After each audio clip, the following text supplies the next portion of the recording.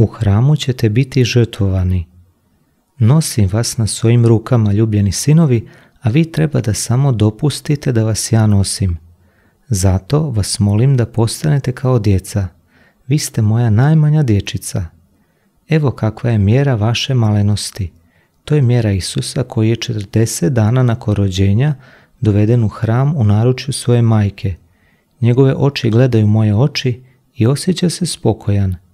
Ništa drugo ne vidi, već spava uljuljan na mom srcu, dok se u meni povećava radost što mogu dati mir, odmor i ljubav djetetu. Ljubljeni sinovi, dopustite da ja i vas tako nosim. Tako vi postajete moja savršena radost. Samo tako se možete osjećati na sigurnom.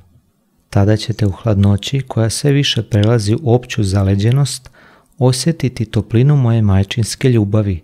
U nesigurnosti koja već sada sve zahvaća, osjetit ćete zaštitu što vam je moje ruke pružaju.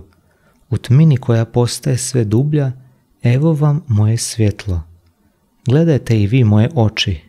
Bog vam je dao svjetlo po vašoj majci. Na rukama vas nosim u hram Boži, vas službenike gospodnje, vaš čuvare njegova hrama. Taj je hram sada oskrnjen i čini se kao da se ruši. Stupovi istine izgledaju napukli i mnogi su pastiri žrtve najgorih zabluda. Sve je zarazio grijeh koji bi htio prekriti također i žrtvenik. Sve se množe i čaša božanske prade već je puna. U hramu ćete biti žrtvovani. Krv još može oprati svaku ljagu. Njome će biti očišćena moja crkva. I zato je majka uz vas.